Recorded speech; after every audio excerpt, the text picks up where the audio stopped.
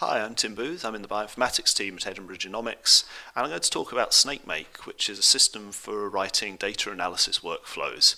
And it's something that I use quite a lot in my day-to-day -day work. But if you've not come across this before, then if you go to the main SnakeMake website, you'll find this description, which I've just copied here and highlighted some of the key words.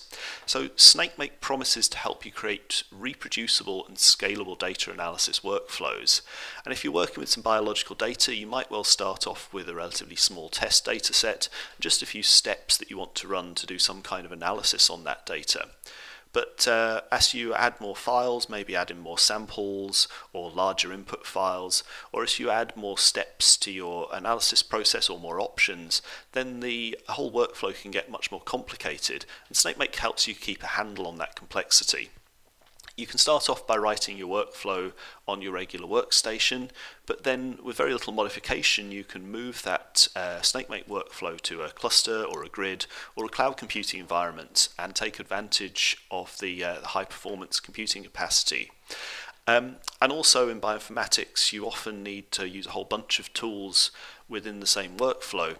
And SnakeMake can help you by capturing a description of what those tools are and even automatically deploying those into a new environment. And it does this by integrating with the Conda package management system. But we're not going to talk about that just now. We're going to focus on the, uh, the core model of SnakeMake and how you can use it and define some simple rules to do a simple data analysis. So a little bit of background before we look at an actual SnakeMake workflow. It's based on uh, a fairly old piece of software uh, that's from back in the 70s called uh, Unix Make. And you'll actually find this on any modern uh, Unix or Linux system. It's used to build software from source code. And uh, in the past, many bioinformaticians have actually recognized that this is something that could help them to write a bioinformatics workflow and have done so. But you rapidly run into some limitations of the make software and also the syntax for make is pretty horrible. So um, back when he was doing this PhD uh, this chap called Johannes Koester who's uh, currently based at University Hospital of Essen decided he could do better.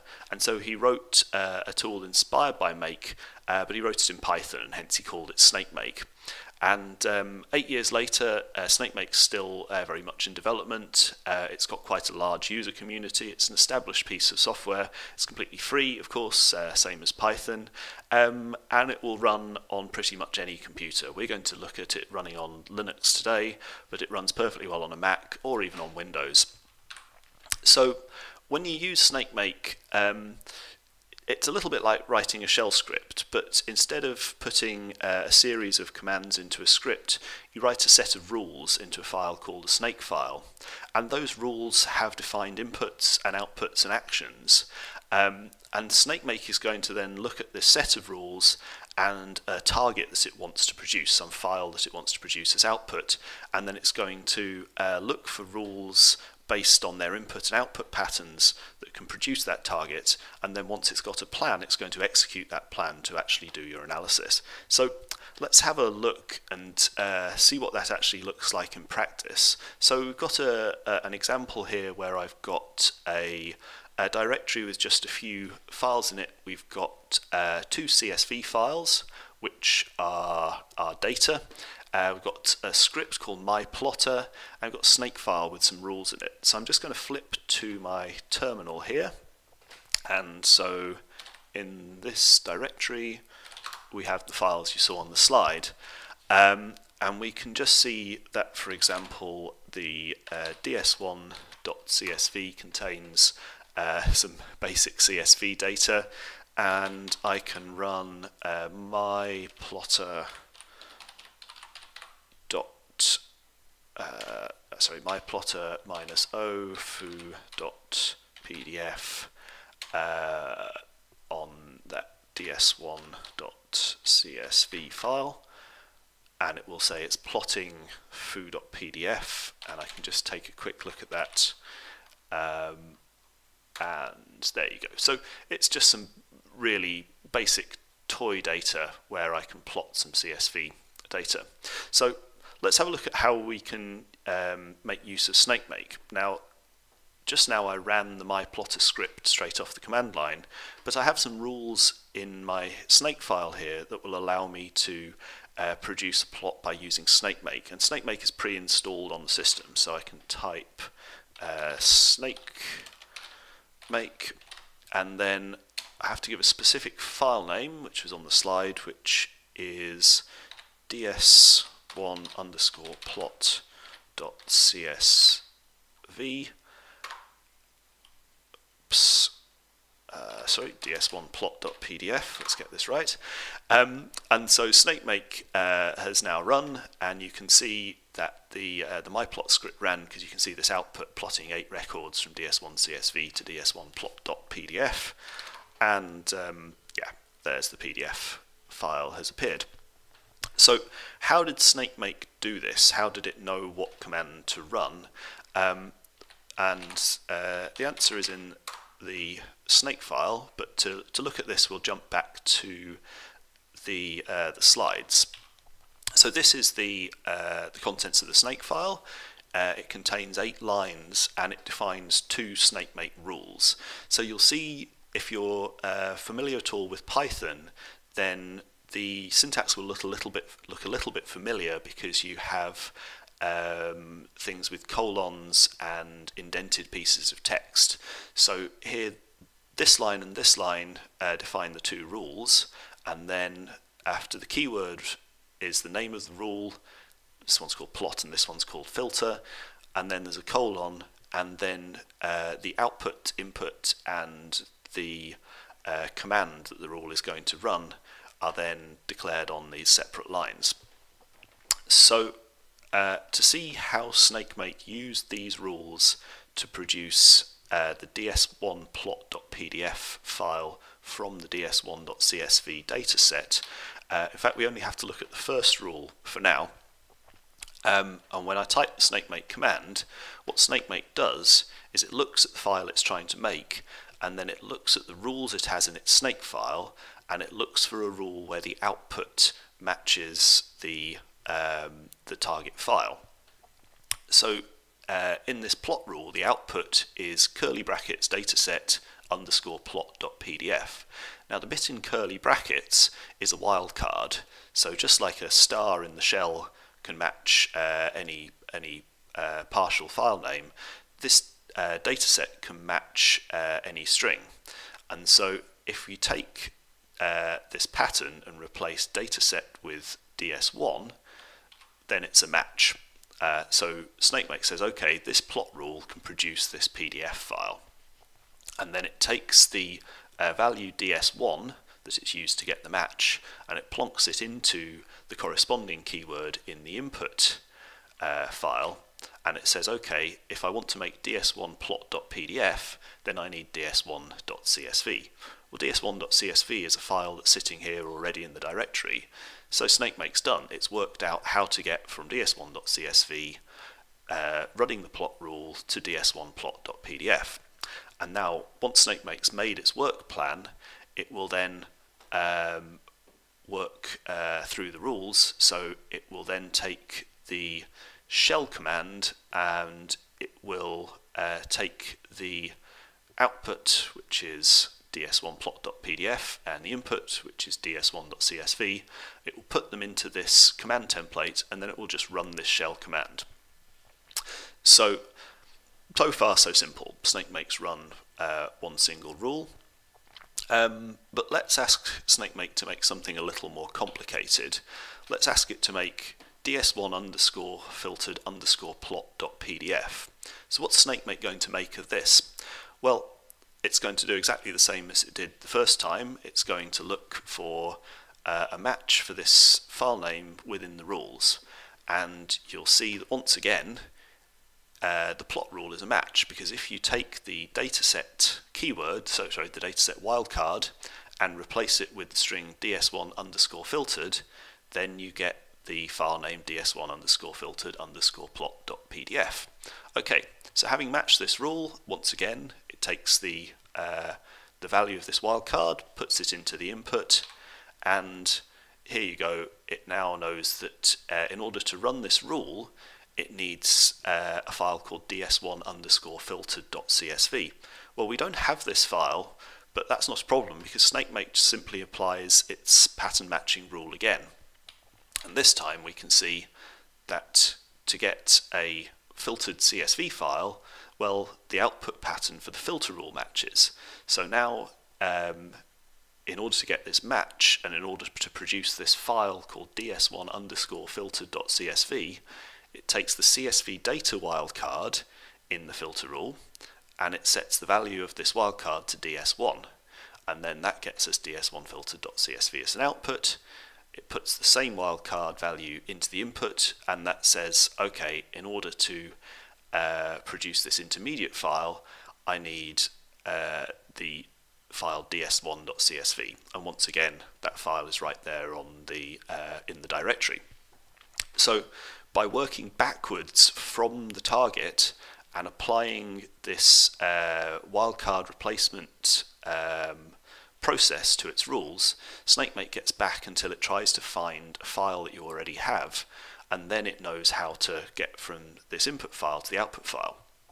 So it now starts running its rules kind of in the reverse order which it discovers them. It first runs the filter rule by taking this input and this output and putting them into the command string and then once that's produced uh, the intermediate file ds1filter.csv it then takes this shell command from the plot rule and it puts the uh, relevant output and input into the template and then it's going to finally produce the file I asked it for in the first place which is ds1filteredplot.pdf and this this whole thing really is the core of how SnakeMake uh, builds up uh, workflows from rules.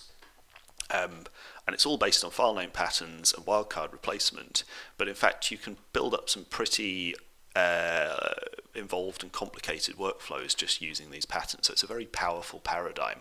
So let's actually run this command here and let's make this filtered plot.pdf. I'm going to flip back to my terminal, oops, which is right here.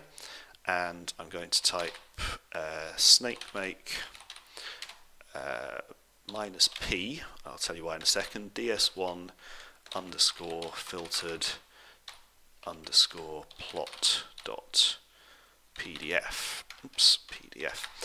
Uh, now the reason for giving the minus p argument to SnakeMake is that by default SnakeMake will print the output so from the commands that it's running but it won't actually tell you the exact command it ran um, and generally you want to see that it's really useful so just uh, using the minus p flag tells SnakeMake to print out those commands but it doesn't affect uh, the operation of SnakeMake at all, it just gives you a little more output. So if I run that, then again I get a report from SnakeMake. So uh, it first did its pattern matching to work out which jobs it had to run, and then it ran through its list of jobs. So here it's running uh, this egrep uh, command, which corresponds to the shell command in the filter rule with the correct input and output uh, inserted in. And then after that, it runs the, uh, the myplotter script uh, using the shell command template from the plot rule and with the output set to ds1 filtered plot.pdf, which is the file that we asked for in the first place. And just to prove that that worked, I can pop that up and oops, if my mouse is working, I can pop that up and see that we've now got uh, the, uh, the filtered CSV file has been plotted. Cool.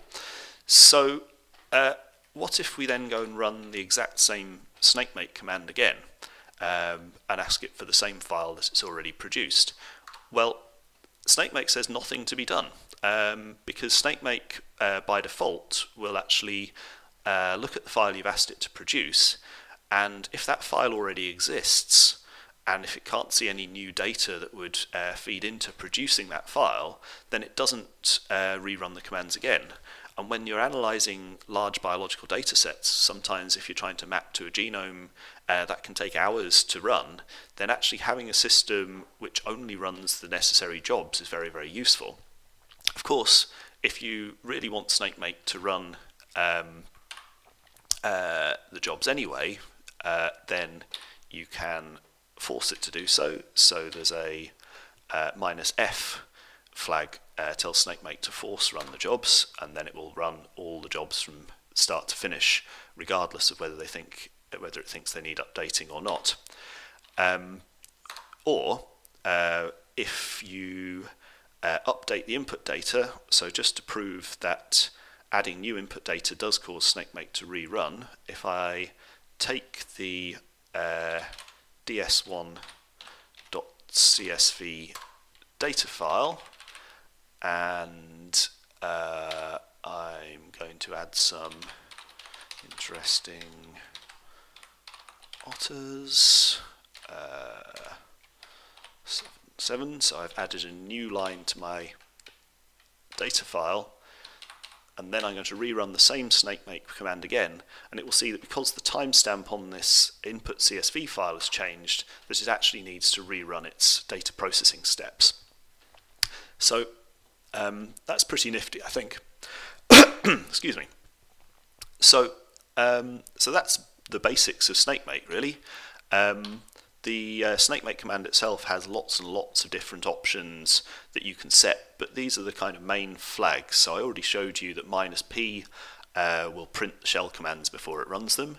Uh, the minus n flag is useful. So uh, SnakeMake can actually then tell you the plan of what it plans to do without actually doing it. So remember that SnakeMake goes through its pattern matching process and it works out all the steps that it's going to run before it actually does any processing. So if you use the minus n flag, that just tells SnakeMake to do that calculation, work out what it wants to do, and then it does a report of that, but it doesn't actually do any processing.